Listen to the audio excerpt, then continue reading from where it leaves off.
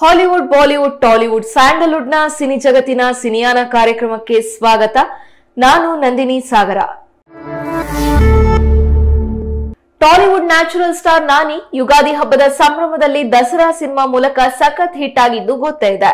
ಕನ್ನಡದ ದೀಕ್ಷಿತ್ ಶೆಟ್ಟಿ ಹಾಗೂ ತೆಲುಗಿನ ನಾನಿ ಹಾಗೂ ಮಹಾನಟಿ ಖ್ಯಾತಿಯ ಕೀರ್ತಿ ಸುರೇಶ್ ಈ ಚಿತ್ರದಲ್ಲಿ ಅಭಿನಯಿಸಿದ್ದು ಬ್ಲಾಕ್ ಬಸ್ಟರ್ ಹಿಟ್ ಆಗಿತ್ತು.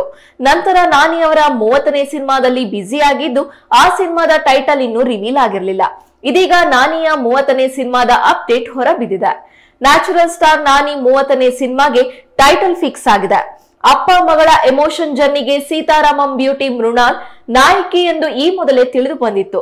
ನಾನಿಯ ಮೂವತ್ತನೇ ಸಿನಿಮಾಗೆ ಹಾಯ್ ನನ್ನ ಎನ್ನುವ ಟೈಟಲ್ ಇಡಲಾಗಿದೆ ಸಣ್ಣದೊಂದು ಜಲಕ್ ಮೂಲಕ ಚಿತ್ರತಂಡ ಶೀರ್ಷಿಕೆಯನ್ನ ಘೋಷಿಸಿದೆ. ನಾನಿ ಮೂವತ್ತನೇ ಚಿತ್ರಕ್ಕೆ ಹಾಯ್ ನನ್ನ ಎಂಬ ಶೀರ್ಷಿಕೆಯನ್ನ ಇಡಲಾಗಿದ್ದು, ಹಾಯ್ ನನ್ನ ಎಂಬ ತೆಲುಗು ಸಾಲಿನ ಅರ್ಥ ಹಾಯ್ ಅಪ್ಪ ಎಂಬುದಾಗಿದೆ. ಸೌತ್ ಭಾಷೆಯಲ್ಲಿ ಒಂದೇ ಟೈಟಲ್ ಇರಲಿ ಎಂಬ ಉದ್ದೇಶದಿಂದ ಚಿತ್ರತಂಡ ಕನ್ನಡ, ತಮಿಳು, ಮಲಯಾಳಂ ಭಾಷೆಯಲ್ಲಿಯೂ ಹಾಯ್ ನನ್ನ ಎಂದೇ ಶೀರ್ಷಿಕೆ ಫಿಕ್ಸ್ ಮಾಡಿದೆ. ಮೆಗಾಸ್ಟಾರ್ ಚಿರಂಜೀವಿ ಆಶೀರ್ವಾದದೊಂದಿಗೆ ಕಿಕ್ ಸ್ಟಾರ್ಟ್ ಸಿಕ್ಕಿರುವ ನಾನಿ ಮೂವತ್ತನೇ ಸಿನಿಮಾವನ್ನ ಶೌರ್ಯುವ ಈ ಚಿತ್ರಕ್ಕೆ ಆಕ್ಷನ್ ಕಟ್ ಹೇಳ್ತಾ ಇದ್ದಾರೆ. ನಿರ್ದೇಶಕನಾಗಿ ಇದು ಇವರ ಮೊದಲ ಸಿನಿಮಾವಾಗಿದೆ. ಎಮೋಷನಲ್ ಫ್ಯಾಮಿಲಿ ಎಂಟರ್ಟೈನ್ಮೆಂಟ್ ಸಬ್ಜೆಕ್ಟ್ ಒಳಗೊಂಡ ಈ ಚಿತ್ರ ಅಪ್ಪ ಮಗಳ ಬಾಂಧವ್ಯದ ಸುತ್ತ ಹೆಣೆಯಲಾದ ವಿಭಿನ್ನ ಕಥೆಯನ್ನ ಒಳಗೊಂಡಿದೆ. ನಾನಿಗೆ ಜೋಡಿಯಾಗಿ ಸೀತಾರಾಮಂ ಖ್ಯಾತಿಯ ಮೃಣಾಲ್ ಠಾಕೂರ್ ತೆರೆ ಹಂಚಿಕೊಳ್ತಾ ಇದ್ದಾರೆ. ವೈರಾ ಎಂಟರ್ಟೈನ್ಮೆಂಟ್ಸ್ ಬ್ಯಾನರ್ ನಡಿ ಮೋಹನ್ ಚೆರುಕುರಿ ಹಾಗೂ ಡಾಕ್ಟರ್ ವಿಜೇಂದ್ರ ರೆಡ್ಡಿ ಹಾಗೂ ಮೂರ್ತಿ ಕಲಾಗಾರ ಚಿತ್ರಕ್ಕೆ ಬಂಡವಾಳ ಹೂಡ್ತಾ ಇದ್ದಾರೆ. Sanu John Varghese camera work ಚಿತ್ರಕ್ಕಿರಲಿದ್ದು, ಹೃದಯಂ ಸಿನಿಮಾ ಖ್ಯಾತಿಯ ಹೇಶಂ ಅಬ್ದುಲ್ ವಹಾಬ್, ಸಂಗೀತ ನಿರ್ದೇಶನ ಪ್ರವೀಣ್ ಆಂಟೋನಿ ಸಂಕಲನ ಈ ಚಿತ್ರಕ್ಕಿರಲಿದೆ. ಚಂದನವನದ century star Shivanna back to back ಸಿನಿಮಾಗಳಲ್ಲಿ ಮಿಂಚುತ್ತಾ ಇದ್ದಾರೆ. ಕೇವಲ ಕನ್ನಡ ಮಾತ್ರವಲ್ಲದೆ ಬೇರೆ ಭಾಷೆ ಸಿನಿಮಾಗಳಿಗೂ ನಟ ಬಣ್ಣ ಹಚ್ಚಿದ್ದಾರೆ. ಶಿವಣ್ಣ ಅವರ ಜನ್ಮದಿನದ ಪ್ರಯುಕ್ತ ಅನೇಕ ಸಿನಿಮಾಗಳ ಘೋಷಣೆಯಾಗಿದೆ. ಸ್ಯಾಂಡಲ್ವುಡ್ನಲ್ಲಿ ಸಾವಿರದ ಒಂಬೈನೂರ ಎಂಬತ್ತೊಂಬತ್ತರಲ್ಲಿ ಹ್ಯಾಟ್ರಿಕ್ ಹೀರೋ ಶಿವರಾಜ್ ಕುಮಾರ್ ನಾಯಕರಾಗಿ ನಟಿಸಿದ್ದ inspector Vikram cinema super hit ಆಗಿತ್ತು. ಈ ಕಾಮಿಡಿ ಥ್ರಿಲ್ಲರ್ ಕಥೆಯಲ್ಲಿ ಅವರ ಪಾತ್ರ ಮತ್ತು ನಟನೆಯ ಹೈಲೈಟ್ಸ್ ಆಗಿದ್ವು. ಕಳೆದ ಎರಡು ವರ್ಷಗಳ ಹಿಂದೆ ಪ್ರಜ್ವಲ್ ದೇವರಾಜ್ ಸಹ ಇನ್ಸ್ಪೆಕ್ಟರ್ ವಿಕ್ರಮ್ ಹೆಸರಿನ ಸಿನಿಮಾದಲ್ಲಿ ನಟಿಸಿದ್ರು. ಈಗ ಅದೇ ಹೆಸರಿನ ಸಿನಿಮಾ ಮತ್ತೊಮ್ಮೆ ಸೆಟ್ಟೇರಿದ್ದು ಇದರಲ್ಲಿ ಶಿವಣ್ಣ ಮತ್ತೊಮ್ಮೆ ವಿಕ್ರಮ್ ಹೆಸರಿನ ಇನ್ಸ್ಪೆಕ್ಟರ್ ಆಗಿ ನಟಿಸಲಿದ್ದಾರೆ. ಶಿವರಾಜ್ ಕುಮಾರ್ ಕೆರಿಯರ್ನಲ್ಲಿ ಇನ್ಸ್ಪೆಕ್ಟರ್ ವಿಕ್ರಮ್ ಸಿನಿಮಾ ಅತ್ಯಂತ ವಿಶೇಷವಾಗಿತ್ತು ಅಂದ್ರೆ ತಪ್ಪಿಲ್ಲ. ಅವರು ತರಲೆ ಪೊಲೀಸ್ ಆಗಿ ನಟಿಸಿದ್ದ ಈ ಸಿನಿಮಾ ಆ ಕಾಲಕ್ಕೆ ಸೂಪರ್ ಡೂಪರ್ ಹಿಟ್ ಆಗಿತ್ತು. ಈಗ ಅವರು ಮತ್ತೆ ಅಂತಹದ್ದೇ ಕಥೆಯೊಂದಿಗೆ ಐ ವಿ ರಿಟರ್ನ್ ಸಿನಿಮಾ ಮೂಲಕ ಪ್ರೇಕ್ಷಕರ ಮುಂದೆ ಬರಲಿದ್ದಾರೆ. ಮೂವತ್ನಾಲ್ಕು ವರ್ಷಗಳ ಹಿಂದೆ ದಿನೇಶ್ ಬಾಬು ಇನ್ಸ್ಪೆಕ್ಟರ್ ವಿಕ್ರಮ್ ಚಿತ್ರಕ್ಕೆ ಆಕ್ಷನ್ ಕಟ್ ಹೇಳಿದ್ರು. ಐ ವಿ ರಿಟರ್ನ್ ಸಿನಿಮಾದಲ್ಲಿ ಶಿವರಾಜ್ ಕುಮಾರ್ ಸೋದರ ಸಂಬಂಧಿ ಲಕ್ಕಿ ಗೋಪಾಲ್ ನಿರ್ದೇಶನದ ಕ್ಯಾಪ್ ತೊಟ್ಟಿದ್ದಾರೆ. ಲಕ್ಕಿ ಗೋಪಾಲ್ ಹಿಂದೆ ಎಸ್ ಆರ್ ಕೆ ಎಂಬ ಸಿನಿಮಾ ಅನೌನ್ಸ್ ಮಾಡಿದ್ರು. ಕಾರಣಾಂತರಗಳಿಂದ ಅದು ನಿಂತು ಹೋಗಿತ್ತು. ಈಗ ಅವರು ಮತ್ತೊಮ್ಮೆ ಶಿವಣ್ಣಗೆ ಸಿನಿಮಾ ಮಾಡಲು ಸಜ್ಜಾಗಿದ್ದಾರೆ.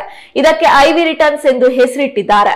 ಇನ್ಸ್ಪೆಕ್ಟರ್ ವಿಕ್ರಮ್ ಸಿನಿಮಾದಂತೆ ಇದರಲ್ಲಿಯೂ ಕೂಡ ಶಿವಣ್ಣ ಪೊಲೀಸ್ ಆಗಿರಲಿದ್ದಾರೆ. ಇವರ ಲುಕ್ ಇತರೆ ಸಿನಿಮಾಗಳಿಗಿಂತಲೂ ಹೊಸದಾಗಿರ್ತದೆ ಎಂದು ಚಿತ್ರತಂಡ ಹೇಳಿದೆ. ಲಕ್ಕಿ ಗೋಪಾಲ್ ನಮ್ಮ ಮನೆಯ ಹುಡುಗ. ಅವನಿಗೆ ನನ್ನ ಡೇಟ್ಸ್ ಯಾವಾಗಲೋ ಕೊಟ್ಟಿದ್ದೇನೆ ಎಂದು ಶಿವರಾಜ್ ಕುಮಾರ್ ಈ ಹಿಂದೆ ಹೇಳಿದ್ರು. ನಾನು ನಿರ್ದೇಶನ ಮಾಡಲಿರುವ ಸಿನಿಮಾದಲ್ಲಿ ಬೇರೆ ರೀತಿಯ ಶಿವಣ್ಣ ಅವರನ್ನ ತೋರಿಸ್ತೇನೆ. ಇದರ ಸ್ಕ್ರಿಪ್ಟ್ ಕ್ರೇಜಿ ಆಗಿದೆ ಎಂದು ಲಕ್ಕಿ ಗೋಪಾಲ್ ಹೇಳಿದ್ದಾರೆ. ಸದ್ಯಕ್ಕೆ ಐವಿ ರಿಟರ್ನ್ ಸಿನಿಮಾದ ಫಸ್ಟ್ ಲುಕ್ ಮಾತ್ರ ಬಿಡುಗಡೆ ಆಗಿದೆ. ದಿನೇಶ್ ಬಾಬು ಅವರು ನಿರ್ದೇಶನ ಮಾಡಿದ್ದ ನಾಲ್ಕನೇ ಸಿನಿಮಾ ಇನ್ಸ್ಪೆಕ್ಟರ್ ವಿಕ್ರಮ್. ಹಾಗೆಯೇ ಶಿವರಾಜ್ ಕುಮಾರ್ ನಟಿಸಿದ್ದ ಏಳನೇ ಸಿನಿಮಾ ಇದಾಗಿತ್ತು. ಮಾಮೂಲಿ ಪೊಲೀಸ್ ಸಿನಿಮಾಗಳಿಗೆ ಹೋಲಿಸಿದ್ರೆ ಇನ್ಸ್ಪೆಕ್ಟರ್ ವಿಕ್ರಮ್ ಚಿತ್ರದ ಕತೆ ವಿಭಿನ್ನವಾಗಿತ್ತು. ರಾಘವೇಂದ್ರ ರಾಜ್ಕುಮಾರ್ ಅವರು ಈ ಸಿನಿಮಾಕ್ಕೆ ಹಣ ಹಾಕಿದ್ರು. ಚಿರಂಜೀವಿ ಗುರುದತ್, ಹಾಗೇನೆ ಕೆಎಸ್ ಅಶ್ವಥ್, ಕಾವ್ಯ, ಅರ್ಪಣಾ, ಅವಿನಾಶ್, ಹೊನ್ನವಳ್ಳಿ ಕೃಷ್ಣ ಮುಂತಾದವರು ಈ ಸಿನಿಮಾದಲ್ಲಿ ನಟಿಸಿದ್ದಾರೆ. ಕನ್ನಡದ ಅನೇಕ ಸಿನಿಮಾಗಳು ಅಂತಾರಾಷ್ಟ್ರೀಯ ಮಟ್ಟದಲ್ಲಿ ಸದ್ದು ಮಾಡ್ತಾ ಇವೆ. ದೊಡ್ಡ ಬಜೆಟ್ನ ಚಿತ್ರಗಳ ಅಬ್ಬರದ ನಡುವೆ ಕನ್ನಡದ ಕೆಲವು ಸಣ್ಣ ಸಿನಿಮಾಗಳು ಭಾರತದ ಗಡಿಯಾಚೆಗೆ ಸಂಚರಿಸಿ, ಅಲ್ಲಿನ ಚಿತ್ರೋತ್ಸವಗಳಲ್ಲಿ ಮನ್ನಣೆ ಗಳಿಸಿ ಕನ್ನಡ ಚಿತ್ರೋದ್ಯಮದ ಕೀರ್ತಿ ಪತಾಕಿಯನ್ನ ಹಾರಿಸಿವೆ. ಅದರಲ್ಲಿ ನಟ, ನಿರ್ದೇಶಕ ರಿಷಬ್ ಶೆಟ್ಟಿ ಸಂಸ್ಥೆಯ ಶಿವಮ್ಮ ಚಿತ್ರ ಪ್ರಪಂಚದಾದ್ಯಂತ ತನ್ನ ತೆಕ್ಕೆಗೆ ಪ್ರಶಸ್ತಿ, ಪ್ರಶಂಸೆಯನ್ನ ಗಳಿಸಿ ತನ್ನ ವರ್ಲ್ಡ್ ಟೂರ್ನ ಮ್ಯಾರಥಾನ್ನ ಮುಂದುವರಿಸಿದೆ. ಜಯಶಂಕರ್ ಆರ್ಯರ್ ನಿರ್ದೇಶನದ ಚೊಚ್ಚಲ ಚಿತ್ರ. ಕೊಪ್ಪಳ ಜಿಲ್ಲೆಯ ಯಾರೇ ಹಂಚಿನಾಳ ಗ್ರಾಮದಿಂದ ಶುರುವಾದ ಪ್ರಯಾಣ ಹತ್ತಾರು ದೇಶಗಳಲ್ಲಿ ಹಲವಾರು ಪ್ರಶಸ್ತಿ ಪ್ರಶಂಸೆಗಳನ್ನ ಗಳಿಸಿದ್ದಲ್ಲದೆ ವಿದೇಶಿಗರ ಪ್ರೀತಿಗೂ ಪಾತ್ರವಾದ ನಮ್ಮ ರಿಷಬ್ ಶೆಟ್ಟಿ ಫಿಲಂ ಸಂಸ್ಥೆಯ ಹೆಮ್ಮೆಯ ಶಿವಮ್ಮ ಚಿತ್ರ ತನ್ನ ಗೆಲುವಿನ ಪ್ರಯಾಣವನ್ನ ಮುಂದುವರೆಸಿದೆ. ಚಿತ್ರಕ್ಕೆ ನಿಮ್ಮ ಶುಭ ಹಾರೈಕೆಗಳಿರಲಿ ಎಂದಿದೆ ಚಿತ್ರತಂಡ. ಚಿತ್ರಕ್ಕೆ ಸಂದಿರುವ ಪ್ರಶಸ್ತಿಗಳ ಪಟ್ಟಿ ಇಂತಿವೆ. ನ್ಯೂ ಕರೆಂಟ್ಸ್ ಪುರಸ್ಕಾರ ಬುಜಾನ್ ಅಂತಾರಾಷ್ಟ್ರೀಯ ಚಲನಚಿತ್ರೋತ್ಸವ two thousand twenty two, young jury ಪುರಸ್ಕಾರ, festival des three continents Nantes two thousand twenty two, ಹಾಗೆ ಅತ್ಯುತ್ತಮ ನಿರ್ದೇಶಕ ಫಾಜರ್ ಅಂತಾರಾಷ್ಟ್ರೀಯ ಚಲನಚಿತ್ರೋತ್ಸವ, grand prix at Zerkalo Hainan ಅಂತಾರಾಷ್ಟ್ರೀಯ ಚಲನಚಿತ್ರೋತ್ಸವ, China black movie Switzerland Fajr ಅಂತಾರಾಷ್ಟ್ರೀಯ ಚಲನಚಿತ್ರೋತ್ಸವ, ಇರಾನ್ ಗೊತೆಂಬರ್ಗ್ ಅಂತಾರಾಷ್ಟ್ರೀಯ ಚಲನಚಿತ್ರೋತ್ಸವ ಸ್ವೀಡನ್ ಫಿಲಂ ಫೆಸ್ಟ್ ಮುಂಚಿಯಾ ಹಾಗೆ ಮ್ಯೂನಿಚ್ ಅಂತಾರಾಷ್ಟ್ರೀಯ ಚಲನಚಿತ್ರೋತ್ಸವ Zerkalo, Russia Imagine India, Spain Alberta ಭಾರತೀಯ ಚಲನಚಿತ್ರೋತ್ಸವ, Canada Indian film festival, Melbourne Andrei Tarkovsky ಅಂತಾರಾಷ್ಟ್ರೀಯ ಚಲನಚಿತ್ರೋತ್ಸವ ಮುಂತಾದ ಚಲನಚಿತ್ರೋತ್ಸವಗಳಲ್ಲಿ ಪ್ರಶಸ್ತಿ ತನ್ನದಾಗಿಸಿಕೊಂಡಿದೆ. ಇನ್ನು ಶೀಘ್ರದಲ್ಲಿ ಭಾರತಕ್ಕೆ ಆಗಮಿಸುತ್ತೇವೆ. ವಿಶಾಲ ಹೃದಯದಿಂದ ನೀವೆಲ್ಲರೂ ಶಿವಮ್ಮನನ್ನ ಸ್ವಾಗತಿಸಿರೆಂದು ನಂಬಿದ್ದೇವೆ ಎಂದು ಚಿತ್ರತಂಡ ಹೇಳಿಕೊಂಡಿದೆ. ಈ ಸಿನಿಮಾದ ಬಗ್ಗೆ ರಿಷಬ್ ಶೆಟ್ಟಿ ಹೆಮ್ಮೆಯಿಂದಲೇ ಮಾತನಾಡಿದ್ದಾರೆ. ಇಂತಹದೊಂದು ಸಿನಿಮಾ ತಮ್ಮದೇ ಬ್ಯಾನರ್ನಲ್ಲಿ ಬಂದಿದ್ದು ಸಹಜವಾಗಿ ಅವರಿಗೆ ಸಂಭ್ರಮ ತಂದಿದೆ. ಈ ಸಿನಿಮಾ ಇನ್ನೂ ಹಲವು ರಾಷ್ಟ್ರೀಯ ಪ್ರಶಸ್ತಿಗಳನ್ನ ಪಡೆಯಲಿ ಎಂದು ನಿರ್ದೇಶಕರಿಗೆ ರಿಷಬ್ ಹಾರೈಸಿದ್ದಾರೆ. ಇತ್ತೀಚಿನ ದಿನಗಳಲ್ಲಿ ಸಿನಿಮಾದಲ್ಲಿ ಅವಕಾಶ ಕೊಡಿಸ್ತೇವೆ, ಧಾರಾವಾಹಿಗಳಲ್ಲಿ ನಟನೆಗೆ ಅವಕಾಶ ಕೊಡಿಸ್ತೇವೆ ಎಂದು ಹೇಳಿಕೊಂಡು ವಂಚಿಸುವ ಪ್ರಕರಣಗಳ ಸಂಖ್ಯೆ ಹೆಚ್ಚಾಗ್ತಾ ಇದೆ. ಸ್ಯಾಂಡಲ್ವುಡ್ ನಟ, ನಿರೂಪಕ ಮಾಸ್ಟರ್ ಆನಂದ್ ಪುತ್ರಿ, ಬಾಲನಟಿ ವಂಶಿಕಾ ಹೆಸರು ಬಳಸಿ ಮಹಿಳೆಯೊಬ್ಬಳು ವಂಚನೆ ಮಾಡಿರುವ ಆರೋಪದ ಮೇಲೆ ಮಾಸ್ಟರ್ ಆನಂದ್ ಪತ್ನಿ ಯಶಸ್ವಿನಿ ಬೆಂಗಳೂರಿನ ಸದಾಶಿವನಗರ ಪೊಲೀಸ್ ಠಾಣೆ ಮೆಟ್ಟಿಲೇರಿದ್ದಾರೆ. ಯಶಸ್ವಿನಿ ಜೊತೆ ಮೋಸ ಹೋಗಿರುವ ಇತರರಿಂದ ನಿಶಾ ವಿರುದ್ಧ ದೂರು ದಾಖಲಿಸಲಾಗಿದೆ. ಸದ್ಯ ಆರೋಪಿ ನಿಶಾರನ್ನ ಪೊಲೀಸರು ಬಂಧಿಸಿದ್ದಾರೆ. ಮಕ್ಕಳ ಟ್ಯಾಲೆಂಟ್ ಶೋ, ಮಕ್ಕಳ ಮಾಡಲಿಂಗ್, ಇವೆಂಟ್ ಮ್ಯಾನೇಜ್ಮೆಂಟ್ ನಡೆಸುತ್ತೇನೆ ಎಂದು ಹೇಳಿ ಮಕ್ಕಳ ಪೋಷಕರಿಂದ ಲಕ್ಷಾಂತರ ರೂಪಾಯಿ ಹಣವನ್ನ ನಿಶಾ ನಂಬಿಸಿ ದೋಚಿದ್ದಾರೆ ಎನ್ನಲಾಗ್ತಿದೆ. ಸಾಕಷ್ಟು ಜನರಿಂದ ಹಣ ಪಡೆದು ಮೋಸ ಹೋದ ಕೆಲವರು ನಿಶಾರ ವಿರುದ್ಧ ದೂರು ನೀಡುವ ಮೂಲಕ ಕಿಡಿಕಾರಿದ್ದಾರೆ. ಹೀಗಿರುವಾಗ ಈ ನಡುವೆ ಮಾಸ್ಟರ್ ಆನಂದರ ಪುತ್ರಿ ವಂಶಿಕಾ ಹೆಸರು ಹೇಳಿಕೊಂಡು ಹಲವರಿಗೆ ಮೋಸ ಮಾಡಿದ್ದಾರಂತೆ ನಿಶಾ ನರ್ಸಪ್ಪ. ವಂಶಿಕಾ ಹೆಸರನ್ನ ದುರ್ಬಳಕೆ ಮಾಡಿಕೊಂಡು ಸುಮಾರು ನಲವತ್ತು ಲಕ್ಷ ರೂಪಾಯಿ ಹಣವನ್ನ ಪಡೆದಿದ್ದಾರೆ ಎನ್ನಲಾಗ್ತಾ ಇದೆ. ಈ ಬಗ್ಗೆ ನಿಶಾರ ಮೋಸಕ್ಕೆ ಒಳಗಾದವರು ವಂಶಿಕಾರ ತಾಯಿ ಯಶಸ್ವಿನಿ ಆನಂದ್ ಪೊಲೀಸ್ ಠಾಣೆಗೆ ದೂರು ನೀಡಿದ್ದಾರೆ. ಈ ಪ್ರಕರಣಕ್ಕೆ ಸಂಬಂಧಿಸಿದಂತೆ ಮಾಸ್ಟರ್ ಆನಂದ್ ಪತ್ನಿ ರಿಯಾಕ್ಷನ್ ಕೊಟ್ಟಿದ್ದಾರೆ. ನನಗೆ ಇನ್ಸ್ಟಾಗ್ರಾಂ ಖಾತೆಯ ಮೂಲಕ ನಿಶಾ ನರಸಪ್ಪ ಪರಿಚಯ ಆದ್ರು ಒಂದಷ್ಟು ಇವೆಂಟ್ಗಳಲ್ಲಿ ಜೊತೆಯಾಗಿ ಕೆಲಸ ಮಾಡಿದ್ವಿ. ಆಕೆ ಗ್ರೂಪ್ನಲ್ಲಿ ಅವರೊಬ್ಬರೇ ಗೊತ್ತಿತ್ತು. ಮೊದಲು ಆಕೆ ಕೆಲಸಗಳು ಜೆನ್ಯೂನ್ ಆಗಿತ್ತು. ಆರೇಳು ತಿಂಗಳ ಬಳಿಕ ಒಂದಷ್ಟು ಸಮಸ್ಯೆ ಆಗಿತ್ತು.